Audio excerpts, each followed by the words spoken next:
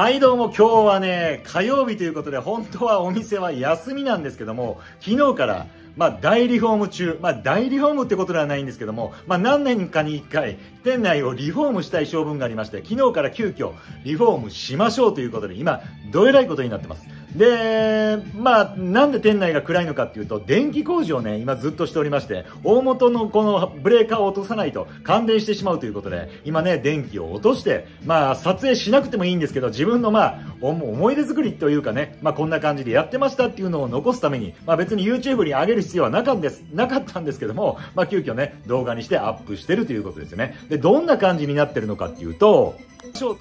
こんな感じでね、今ね、もうね、何もないです。ね。もう何にもなくなっちゃったっていう感じですよね。で、ここに以前はね、あの、ビーズを置いてたんですけども、もうビーズをのけて、で、新しい棚を置いて、まあ、ここにね、ガラステーブルがずっと入るんですけども、これがね、まあ、3段ということで、まあ、もう1段ね、こことここと、そしてもう1段ここにね、あるんですけども、その3つを置いて、もっとたくさんのね、石を置きましょう。そして見やすくしましょうということなんですよね。で、ここにあったビーズがどこに行ったのかっていうと、今ね、避けられて、とんでもないことになってます。ね。で、バーッと積んでますから、もう後でね、こう、並べるのが大変なんですけども、まあ、今日中に終わるのか、できるのかっていう感じですよね。で、今何をやってるのかっていうことなんですけども、これね、ずっとね、まあ、電気工事をやってるんですよね。で、電気を工事してるんで、さっきも言いましたけど、大元のブレーカーを落とさないと、まあ、感電してしまいますから、まあ、以前ね、僕感電してどえらいことになったことあるんですけれども、で、やっぱりさっきね、配線してて、間違えてたんでしょうね。火花散ってね、えらいことになってたんですよね。感、まあ、感電はしてないんですけども、火、火吹いて。